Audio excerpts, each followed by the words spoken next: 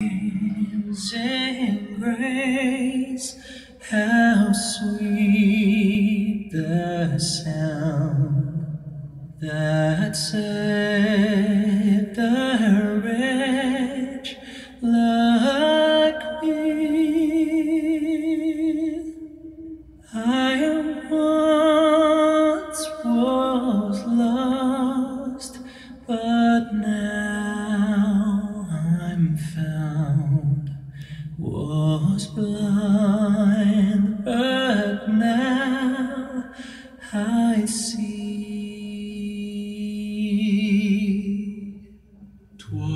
was great.